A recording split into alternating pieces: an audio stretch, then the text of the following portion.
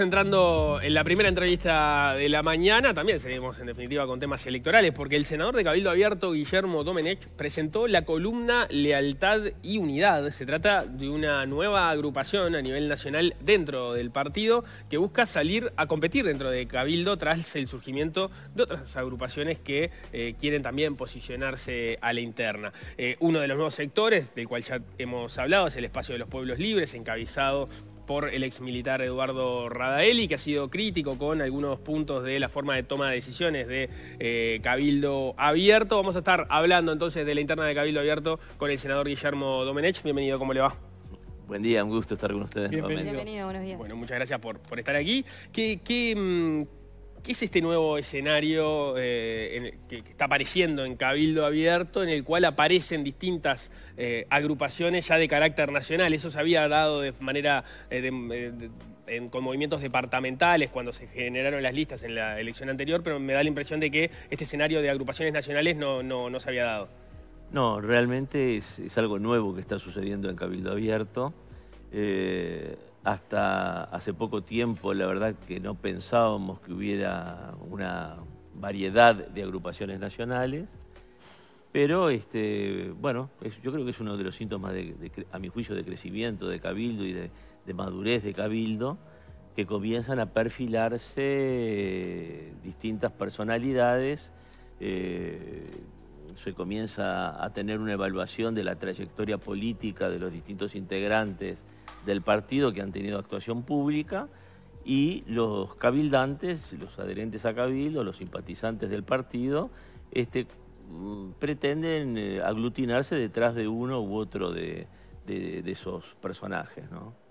este, yo desde mm, los comienzos de la actuación parlamentaria de Cabildo Abierto entendí que tenía que semanalmente rendirle cuenta a los cabildantes y fue así que yo semanalmente hice una reunión, eran los días miércoles 19 horas, pretendo seguirlas haciendo, eh, porque entiendo que si bien eh, hoy hay abundantes medios de información como, como desayunos informales, por ejemplo, eh, el contacto personal con el adherente o la persona interesada en los temas políticos me parece insustituible.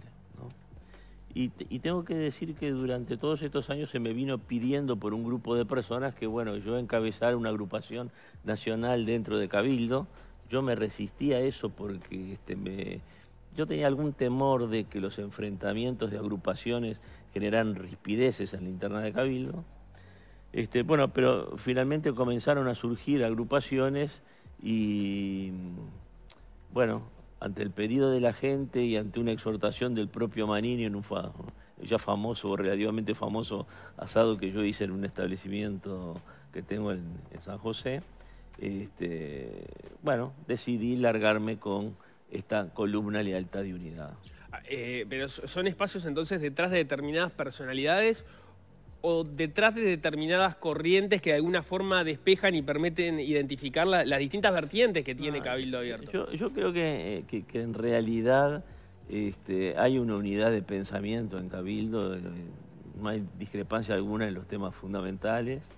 Este, lo que sucede es que, bueno, que en estos cuatro años este, hemos tenido una actuación, en mi caso una actuación parlamentaria, que hay gente que la estará de acuerdo con ella, la, evaluará positivamente y gente que piensa que quizás puede mejorarla. Y bueno, y es natural que en los partidos políticos suceda eso y haya una competencia interna por las posiciones de preeminencia política, ¿no? Este, yo diría que en lo ideológico, en lo, en lo político, no hay dentro del cabildo este, diferencias este, sustanciales. Puede haber de matiz, pero, pero nada más. Eh, lo, pregunto porque parte en un momento hubo cierta dificultad para entender bien qué era, qué era Cabildo. Es una discusión que quizás este, eh, para, algunos eh, continúa, pero ahí había, estaba el, factor militar, del cual se discutió, se discutió mucho y tiene que ver con los propios orígenes de, de, de Manini Ríos y del cual podemos hablar este, más adelante hay un movimiento que creo, y usted me puede corregir, que, usted lo representa o lo encarna, que tiene que ver con un movimiento este, nacionalista cristiano, ¿está bien decirlo así? Bueno, eh, en realidad yo creo que eh, en todo cabildo permea este, el social cristianismo, más tengo que este, decirles que va, a haber también una agrupación nacional encabezada por la doctora Lorena Quintana, Encuentro Nacional Cristiano, este, que va a ser particular hincapié en esa posición. Pero este, yo, le diría que en general en Cabildo este, permea ese, ese espíritu este, de, inspiración social cristiana. Ahí está, entonces... Pero exactamente qué es social cristiano, porque social cristiano lo ha usado tanto el Partido Demócrata Cristiano, que está en el Frente Amplio, lo ha usado algún sector que estuvo en el Partido Demócrata Cristiano y luego se quedó en el Partido Nacional y entonces uno los ubicaba más bien al centro, porque si estaban en, habían estado en el Frente Amplio en algún momento, con el PDC, no los ponías, bueno, digamos, en el centro del espectro político, no, no muy a la derecha, porque por algo habían estado por ahí. La Unión Cívica lo usaba, después la Unión Cívica hizo un acuerdo con el Partido Nacional también, y en las últimas elecciones compareció asociada al Partido Nacional. Y a Filiola. Y a Filiola lo usa también en el Partido Nacional. Es como, sin desmerecer, ¿no? Pero es como como un, una, no quiero decir etiqueta porque es una palabra fea, pero es como una, apelación política que se usa en, muchos lugares del espectro político. Bueno, yo le podría decir que es como el marxismo o el socialismo. claro, También tienen diversas expresiones, ¿no? Mm. Este, yo lo que le podría, yo le puedo decir, este, cómo me inspiro, por qué digo que me inspiro en el social cristianismo, ¿no? En el siglo XIX, la, Iglesia, eh, a, a través de León XIII, emite una encíclica, la Rerum Novarum, eh, por la que pretende eh, darle una respuesta desde la filosofía cristiana eh, al problema social del momento, la revolución industrial. Esa, esa encíclica este, yo diría que es como la, piedra fundamental del social cristianismo. Se habla fundamentalmente de lo que debe ser el salario justo, eh, es una oposición de alguna forma al liberalismo, ¿no? El liberalismo entiende que los precios se tienen que regular por la oferta y la demanda, el afán de lucro y la competencia. Bueno, el social cristianismo sostiene una cosa distinta. Dice, no negamos el mercado, no negamos el afán de lucro, no negamos la competencia, pero tiene que haber una equivalencia o una reciprocidad en los cambios. El salario debe ser justo. Yo, como empresario cristiano no le puedo pagar al trabajador, según lo manda la encíclica, este, lo menos que pueda. Tengo que ser justo en mi retribución. ¿no? ¿Y qué quiere decir? Que por sobre eh, las eh, leyes, eh, yo diría de la naturaleza económica, tiene que haber una ley moral. Eso es lo que afirma el social cristianismo. Hay una ley moral que impone que tengamos que ser justos en las retribuciones, que tiene que haber una conmutatividad en las prestaciones, que tiene que haber una equivalencia en las prestaciones. No se trata de que yo lucre al extremo este, de ser injusto en mi relación con, el, con los trabajadores o con el resto de la sociedad. ¿no? bueno, a partir de esa encíclica ha habido muchas otras encíclicas. Está la Cuadragésimo Ano, que condena el socialismo, la Divine Redemptoris, que condena el comunismo, y más modernamente yo le diría la Centésimos Anus de Juan Pablo II, ¿no? Eh, o sea, hay una multiplicidad de documentos que, que, en general son bastante desconocidos hasta por los propios católicos. Yo fui, mire, a un conversatorio sobre un tema que para nosotros en este momento es muy importante, que es el de eh, la campaña contra el usura y por la deuda justa, justa. Y me encontré, les le, leí al inicio del conversatorio un pasaje de la Rerum Novarum, un documento este, que obviamente está escrito en un, en un lenguaje eh, decimonónico, pero que si uno lo interpreta tiene absoluta actualidad. Y en la Universidad Católica desconocían la existencia, los alumnos desconocían la existencia de esa encíclica, desconocían la existencia de documentos papales que para nosotros los cristianos son muy importantes porque son una guía para la acción. Eh, y eso este, yo creo que ha sido una de las grandes falencias de, de la Iglesia Católica, de no hacer y, de, nosotros los cristianos, ¿no? de no hacer valer ese pensamiento riquísimo de la Iglesia Católica que en algún momento fue muy importante. ¿no? Yo, yo, me, yo recuerdo al doctor Eduardo J. Corso, por ejemplo, hablando de la obra del padre Merigi. Ahí están, ahí estuvieron los primeros este, sindicatos católicos. está el nacimiento del círculo católico, ¿ah? de la mutualista. Este, o sea, en algún momento la iglesia tuvo esa, esa visión de lo social que yo creo que se ha ido diluyendo en el tiempo, pero que para muchos todavía sigue teniendo mucha vigencia. Domenech, No, no es- recién. Sí. Una breve acotación. No es nada común que un político hoy en día cite, por un lado, documentos de la Iglesia, pero por otro, del siglo XIX. Es decir, eh, creo que es una originalidad de Domenech. Bueno, Marx es del siglo XIX también, así que no nos olvidemos. Está bien. Porque, lo- Recién- porque yo le diría que los... eh, mira, hay un problema este, en la filosofía que es el tema de los universales. Si existen o no los universales y si entonces si podemos conocer o no la verdad.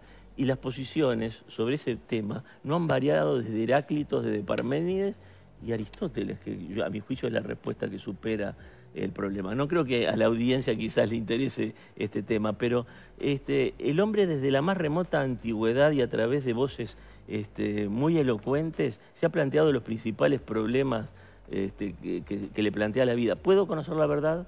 ¿No puedo conocerla? ¿Todo cambia o algo permanece? ¿Cómo reconozco las cosas en el cambio si nada permanece? ¿No? Recién comentó que en un principio no estaba convencido de que debían eh, de existir sectores dentro de su partido, pero finalmente se terminó inclinando por conformar uno y eligió usar la palabra lealtad. Me interesa saber por qué quiso uh, elegir este, este título para su sector y hacia, hacia quién está dirigida esta Claro. lealtad. Bueno, ya hay mu- muchas agrupaciones desde los comienzos este, de Cabildo que utilizan la palabra lealtad, ¿no? Este, un gran amigo de Paysandú, por ejemplo, encabeza una agrupación que se llama Lealtad Oriental, ¿no? Eh, yo le explico cada una de las palabras. Columna, ¿por qué columna? Bueno, me pareció que ponerle movimiento, este, agrupación, este, no era novedoso. Columna da la sensación de que pretendemos ser el sostén, eh, el basamento de Cabildo. Lealtad, bueno, eh, en, ese, en ese asado al que yo he hecho mención, eh, el propio Ma- Manini habló de lealtad y unidad. Y, y bueno, nosotros creemos que la lealtad es un, eh, una razón importante a defender dentro de Cabildo. ¿Lealtad hacia Manini? Lealtad hacia Manini, sí, porque realmente eh, yo creo que Manini ha sido de esas figuras que ha descubierto el Uruguay, es una figura con una gran proyección política, eh, yo creo que está llamado a grandes realizaciones. Eh, yo siempre digo que en el Uruguay hay muchos valores que no valoramos, permítasenos la redundancia, en la debida forma. Este, y creo que hay que traer gente nueva a la política, gente que enriquezca la política. La política tiene aspectos muy, muy ácidos, muy, muy ríspidos, que alejan a la gente de la actividad política. A veces la exposición pública, que tiene cosas lindas, pero también tiene, tiene sus riesgos y, y sus inconvenientes, eh, aleja mucha gente valiosa de la actividad política. Nosotros necesitamos eh, enriquecer la actividad política con gente que venga de otros sectores. Y Man- yo creo que Manini ha enriquecido la política. ¿no? ¿En qué sentido? Yo creo que la, ha- la ha enriquecido con una, bueno, primero, con una visión nacionalista que, que estaba ausente, que está ausente en el Uruguay. Eh, yo le podría poner el caso, por ejemplo, de esta sentencia de la Corte Interamericana de Justicia respecto a las llamadas muchachas de abril, ¿no? En ningún lugar eh, dice que el Uruguay pueda ser humillado, eh, obligando al presidente de la República, por ejemplo, a concurrir a un determinado acto. Eso es, es- es- es, eh, una decisión absolutamente exorbitante de la Corte Interamericana de Justicia y el Uruguay de alguna forma la aceptó. Pero usted propone que Uruguay re- denuncie los tratados internacionales que tiene firmados para no aceptar fallos en- de organismos a los cuales pertenece. Bueno, digamos que los Estados Unidos no, no forman parte de la Corte Interamericana de Justicia, este, que Venezuela ha decidido no cumplir con las decisiones de la, de la Comisión Interamericana de Justicia. Pero va, a poner, va, bien. va a poner de ejemplo a la dictadura venezolana. No, no, la, no la pongo, pero pongo los dos extremos, Estados Unidos y Venezuela, ¿no? Eh, Ahora, lo, lo humillante es que la Corte Interamericana de Justicia la- eh, sentencie que el presidente o, o quien esté a cargo del Poder Ejecutivo, fue la vicepresidenta la que lo terminó siendo, forme parte de un evento de reconocimiento por la violación de los derechos humanos, o que se determine que el Estado violó los derechos humanos. Bueno, eso también es lo grande es que el Estado no violó los derechos humanos, no violó los derechos humanos, hubo un enfrentamiento militar, esa es la verdad de la historia. Ahora, ¿A se qué, a qué se refiere se- con se- no violó los derechos humanos? Porque eso no, no eso violó da la impresión de no que violó no hay lo- mayor hubo- discusión. hubo- no, no, hay, cómo no, cómo no. Hubo un enfrentamiento militar en esa circunstancia. Bueno, es mu- es muy discutible Eh, y no, la- es, la- no es la conclusión a la cual llega la Fiscalía en este caso, ¿no? Bueno, yo, yo le soy franco, creo que el Uruguay fue muy mal defendido, fue muy mal defendido, porque ahí murió un efectivo militar y fue herido otro al cual se le termina procesando. ¿no? Este, bueno, pero ustedes no me llamaron para hablar de este tema, pero eh, quizás podría ser objeto de una, de una charla específica sobre el mismo. ¿no? Bien. Eh, Lo que pasa que me parece que eh, una capaz que usted me corrige si me equivoco, Sí. pero hay una mm, en Cabildo, no sé si la comparte todo el partido, pero lo, lo- lo leo en la mañana, lo he visto a Manini hablar de eso. Hay un fuerte rechazo a estos organismos internacionales, digamos. Hay como un, no sé si sacarían a Uruguay de todos estos organismos, pero bueno, yo creo el Ur- resisten a, a este orden internacional, digamos. Mire, eh, yo integro la Comisión de Derechos Humanos y Género y se ha presentado a instancias de las Naciones Unidas un proyecto absurdo para elevar la edad de matrimonio de los jóvenes a los 18 años. Eso es lo que están haciendo los organismos internacionales, ¿no? Bajando órdenes que no se atienen a la realidad social y nacional, ¿no? Porque yo me pregunto, ¿Le vamos a prohibir a los jóvenes vivir en concubinato? ¿Le vamos a prohibir a los jóvenes tener re- relaciones sexuales cuando tengan madurez sexual? Es imposible.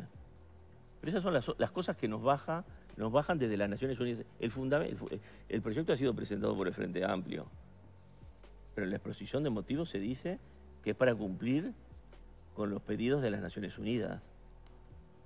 O sea, nosotros no estamos dispuestos a esas cosas. Este, nosotros vamos a, de- a- a defender la dignidad del país, la independencia del país y, como decía Artigas, que se resuelva de acuerdo, respetando la soberanía particular de los pueblos. ¿Pero ustedes son partidarios de que Uruguay deje de integrar estos organismos internacionales? No, pero tener otra actitud, ¿no? No una actitud de sometimiento, sino una actitud de dignidad frente a cosas que son absolutamente absurdas. ¿no? Eh, siguiendo con los motivos por los cuales lo llevó, a, crear y a nombrar de esta forma la, agrupación, la columna Lealtad y Unidad, es también en respuesta a que entienden que eh, desde otros sectores que están surgiendo no se promueven justamente estos valores, la lealtad y la unidad hacia Manini.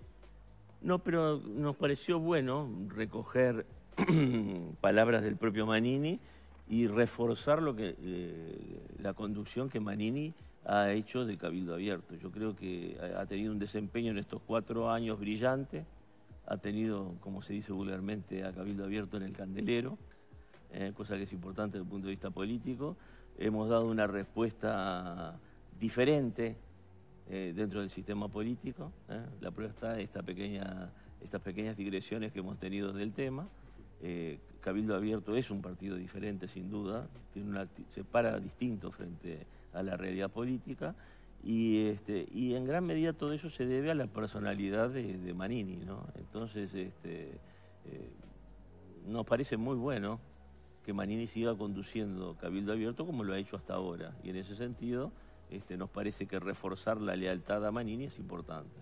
No mencionó la verticalidad que puede simbolizar una columna, que por Sí. cierto es una estructura de funcionamiento que algunas personas han distinguido que existe y con fuerza dentro de Cabildo Abierto. Sí, yo creo en la verticalidad, porque en definitiva este, eh, los jefes tienen que tomar resoluciones.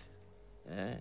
Y obviamente que no se puede vivir en un estado de asamblea permanente. Claro que No. no, pero hay espacio para una agrupación que pueda aportar o es la verticalidad no. la que ya es excesiva. Bueno, en Cabildo Abierto hay una junta, una junta nacional, hay una mesa política, ah, hay espacios de, consulta y de discusión, obviamente, como lo hay, lo hay en todos los partidos, pero lo cierto es que en determinado momento alguien tiene que tomar una resolución, ¿no?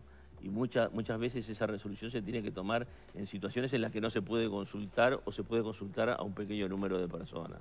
Y creo que Manini ha conducido muy bien el partido hasta el momento. ¿Cómo eh, hemos conversado con ustedes ya este, de manera relativamente seguida en, las últimas este, meses, pero no, hemos conversado a propósito de lo que fueron las declaraciones que aparecieron este, de, Manini Ríos en este libro, que justo está acá arriba de la mesa, eh, Manini, el comandante sin jefe de Fernando Amado, eh, en la cual, como ya es público, se hablaba de un Manini tomando definiciones eh, o sugiriendo definiciones en relación a la conformación del partido Cabildo Abierto, en realidad del movimiento social artiguista en ese momento, antes de que la Corte Electoral no se lo permitiera, eh, todavía siendo comandante en jefe del ejército, antes de que lo, que lo sacaran del cargo, lo cesaran del cargo, a sabiendas de que eso iba a ocurrir.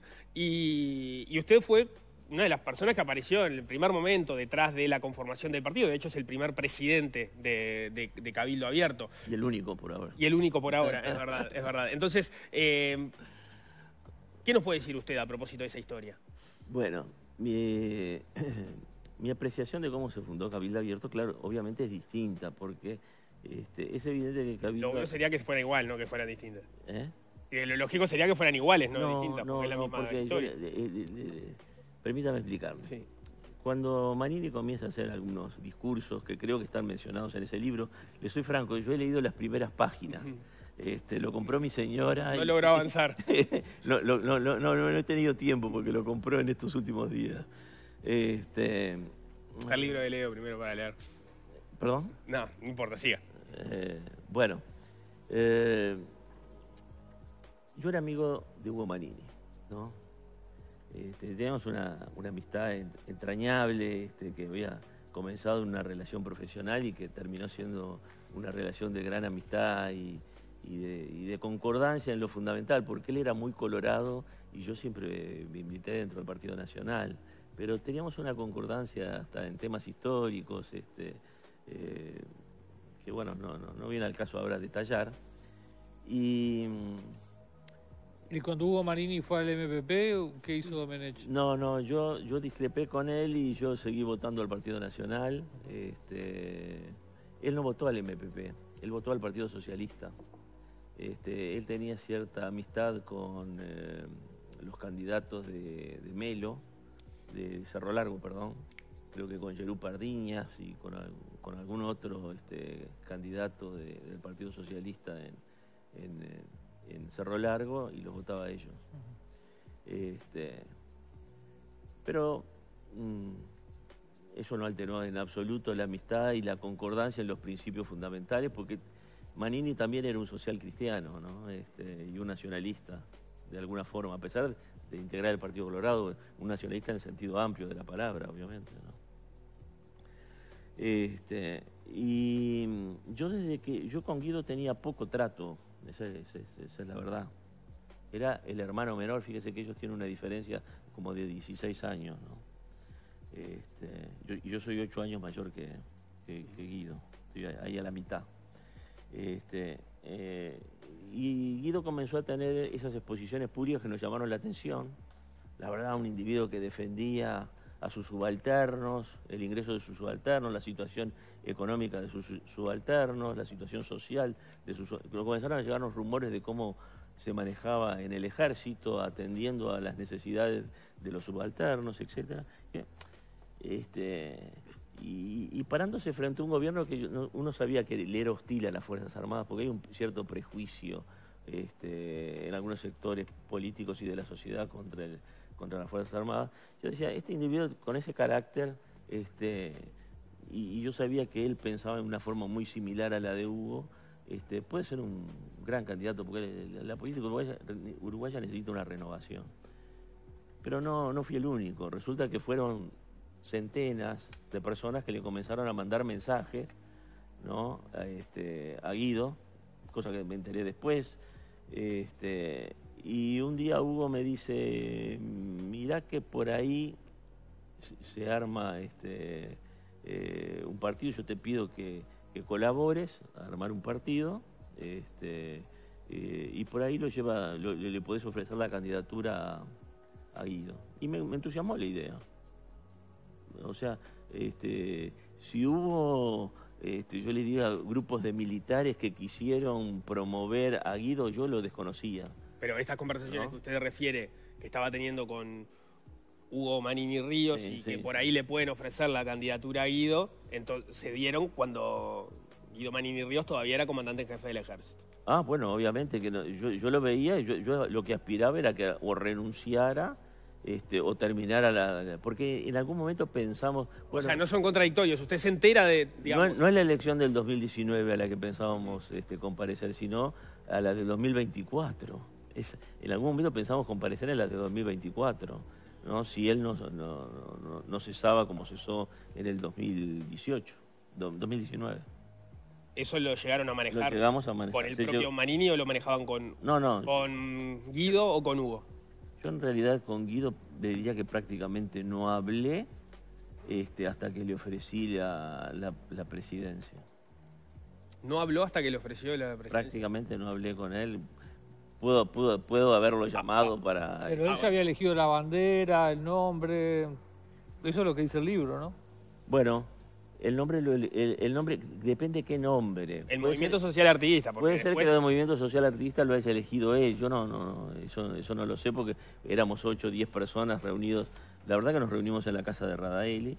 Este, la verdad que no, no, no, no Pero, sé eh, quién eligió el nombre, me ahí, pareció ahí bien. sí estaba Manini, eh, Guido Manini. Sí. Sí, la verdad que no lo recuerdo, le soy franco en ese momento si estaba Guido o no.